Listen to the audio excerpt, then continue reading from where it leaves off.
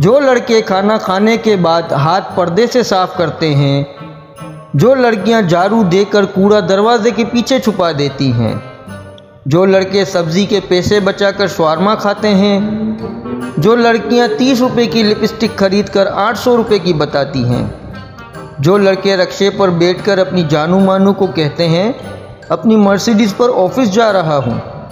जिन लड़कियों को मेहमान आते ही साथ वाले घर में भेज दिया जाता है कि मेहमानों के सामने खाने की कोई चीज़ ना उठा लें।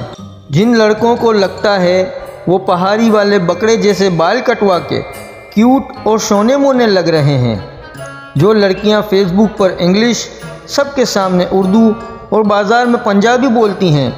अम्मी और दही बल्ले वाला छापर फट गया से। इन सबको मेरी तरफ़ से अस्सलाम वालेकुम। अब वीडियो को इग्नोर मत करना। कम से कम इनबॉक्स में सलाम का जवाब देते जाइए।